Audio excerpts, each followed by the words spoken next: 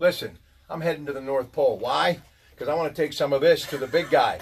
Hey, look, Hanukkah is here. Christmas is around the bend. Kwanzaa, it's all about the holidays. It's about Dorothy's candies. This is a Pittsburgh tradition. Here's Robert. Here's Nan. Tell them why they need to get this product. Robert.